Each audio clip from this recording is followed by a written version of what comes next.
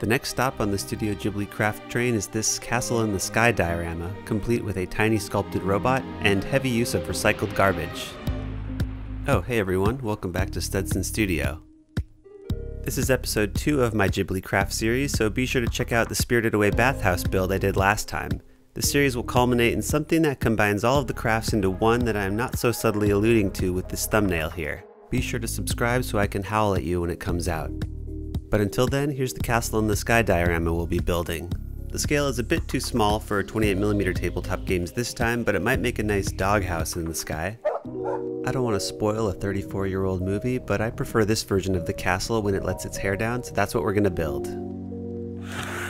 This is a pretty good salad, but it makes an even better platform for a floating castle. To make the platform a bit wider, I'm going to salvage a plastic bowl from the recycle and then use a second plastic bowl to add some depth with some doorway details.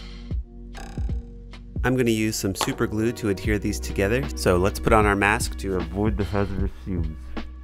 I've seen a good number of Ghibli films, but I have to admit that I was today years old when I finally watched Castle in the Sky. But it was an interesting watching experience with the context of other Miyazaki films under my belt. As characters were introduced, I kept blurting out, same, wait, same, also same. Oh. Overall, I really liked the film, so it needed a place in this series. Next, I'm cutting some bricks from foam core board to place all around the perimeter of the castle with some hot glue. Then go grab your Kellogg's Special K with real strawberries box to cut out a circular ring and this little structure asterisk to glue in place as support beams for the cardboard circle. I kinda miscalculated the height of my underlying support, so I'm sealing the edges and then using about this much force needed to leave a palm indent. To hide the hideous cardboard edge I just created and to add more detail, I'm covering the edge in more foam bricks. This isn't your average floppy cardboard tube from inside a paper towel roll, this is the delicious core from the inside of an aluminum foil roll. Look how it refuses to smush under the knife. I'll be using these to build several castle towers using air dry clay and a brick texture roller. This clay is prone to cracking so I did a little test beforehand and yep, it cracked. In this case the cracks are free weathering, but in most other cases I hate this clay. Next I'm rolling out some of this air dry cookie dough to make some bricks. With these texture rollers, clay is prone to stick in the cracks so it's a good idea to lubricate the tube to prevent this from happening. I had some petroleum jelly on hand so that's what I'm using to grease up the rod. Once you start rolling, you pretty much have to keep on rolling, otherwise the roller might not realign with the texture you've already imprinted in the clay. While the clay is still moist, I'm wrapping it around the cardboard tubes using some tacky glue to keep it in place as it dries. This will ensure a nice close seal between the clay and the cardboard. And then I'm closing the seam in the ugliest way possible, which is fine since you won't actually see it in the final build. Actually, that's my craft rhyme of the day. If it's going to be hidden by another bit, then it's okay if it looks like bad. Okay, now we just need to wait for it to dry for... What, three days? I can't wait that long. While we try accelerating the clay in the oven, I'm going to smear some modeling paste all over the castle platform to add a stone-like texture to the plastic and the foam. As always, be sure to stipple that goop to remove all of the brush strokes. I like to use the torn edge of a paper towel so I don't accidentally texture it with my lovely Bounty paper towel design. Now we're ready for our roof. Kobe. If your ping pong balls are ripe enough, you should be able to crack these shells in half, otherwise an X-Acto knife works almost just as well. The plan here is to use one half of the ball as a dome, and then split the other half into six wedges to resemble segmented metal plates.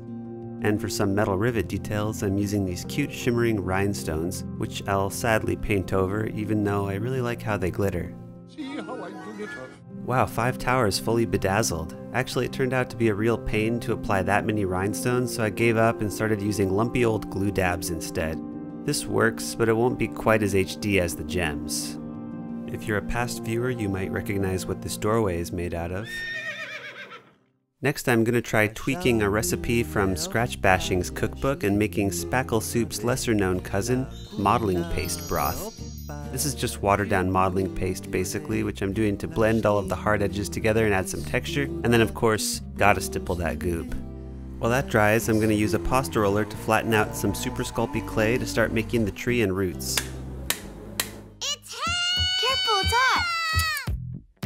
Using a Phileo clay and a length of armature wire, I'm wrapping the clay around the wires and sealing it up as tight as I can until I have a bunch of these bendable roots. Then my texturing method was to use a wire brush to engrave some lines, followed by isopropyl alcohol to blend the messy bits together, and then finishing it up by giving each branch a spooky twist to turn it into gnarled barky. All of these fingers are going to be bunched together to become the network of roots that stick out the bottom of the castle. The castle will actually be resting on these roots, so the wire is important for adding some bone strength to the clay. In a way, these roots are actually foots. Rest in peace to this poor bush that died this summer. I'll be using this branch segment as a base structure for the tree. It doesn't have quite enough branches, so I'll be using a pin vise to drill some more holes, which I'll be mounting pieces of armature wire into, and then wrapping them in clay using the same method that I used to create the roots. Oh, my clay is way too dry and crumbly there, take two. After throwing it into the oven for a quick clay bake, it was time to make this weird mix of clay and bark look more unified. I'm dipping into the old Black Magic craft jar to both seal and base coat the tree in one step with a mixture of Mod Podge and black paint. Same thing for the tree roots as well before we pass through this dark forest to discover the two browns we'll be using to paint them.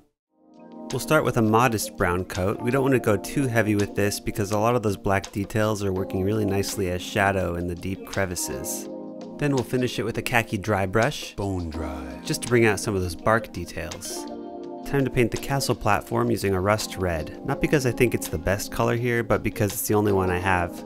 I mean, I have black and white too, but I think rust red is a little bit better base for the orangey terracotta I'm going with for brushing over everything. Both the roots and the castle are far enough along in their painting process, so it's time for their union with some hot glue. The level here is being used for leveling purposes.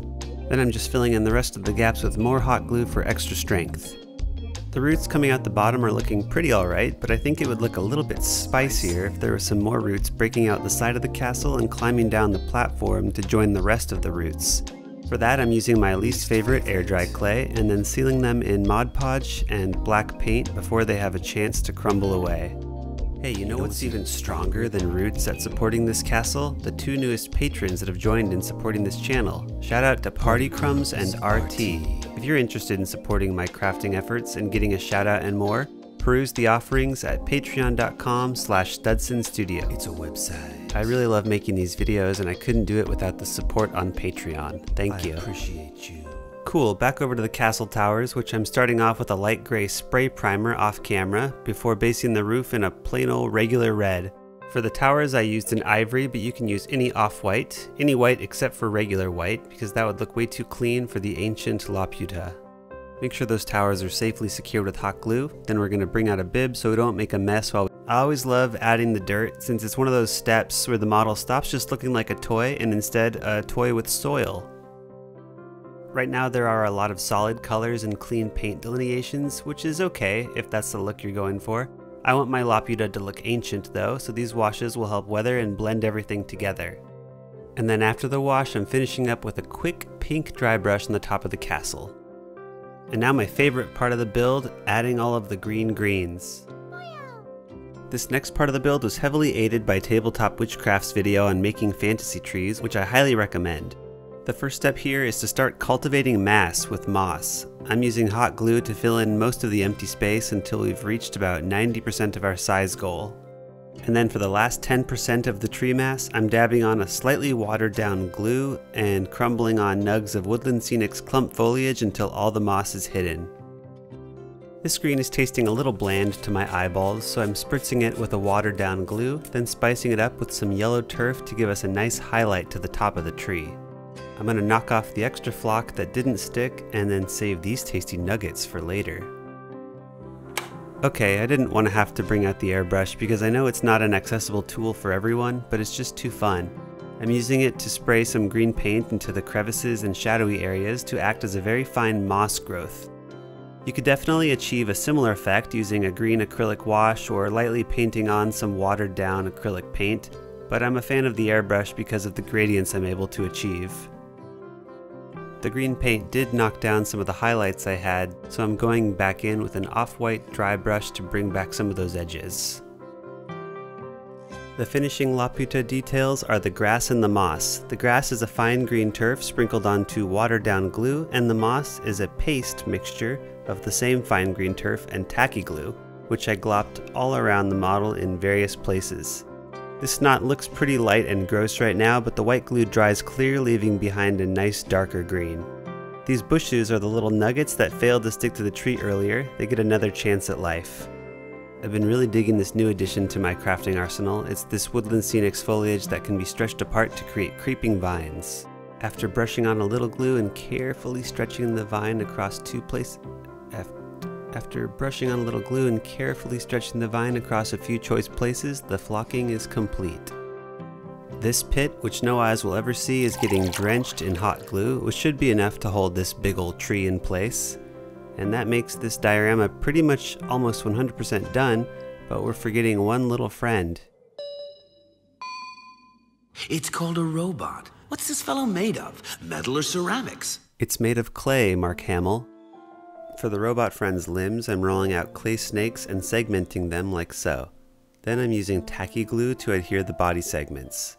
I'm a novice when it comes to sculpting, but I think I can effectively pretend I'm not garbage by choosing subjects that are naturally sad and lumpy looking.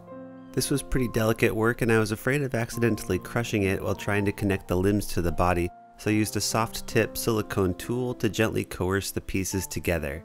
There's actually a tiny dab of glue holding on each limb. I didn't want to blend them too hard because in the movie it looks like they're held on by magic and then after positioning this floppy little baby into a slightly slouchy sitting position, I gave it a quick bake and then started splotching it with brown ah. and then a terracotta to add a little bit of a rust effect. It's looking too fully brown town at the moment, so I gave it a black wash to add some shading in the recesses, then went back in with a lighter terracotta to attempt to blend in some edge highlights on each segment. And of course, the little robot wouldn't be complete without a little dash of overgrowth seasoning. And I'm sorry, he's not available for adoption because his legs are getting glued down and he's already found his forever home. Oh, it's over. The end of this one really snuck up on me. The moral of this one is I am not fond of Crayola air dry clay. The second moral is thank you for watching. If you didn't like it, then dang, but if you did, very nice.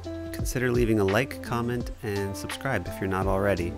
I kinda want to spoil what I'm making next time, but maybe you can suss it out on your own. If you do figure it out, try to just keep it among us, okay? Last and most importantly, thank you to all the patrons offering their fine support on Patreon and helping me make these videos at a nominally faster yet more joyful pace. Well, this video is over. My name is Studson. Thanks for watching and I'll see you next time.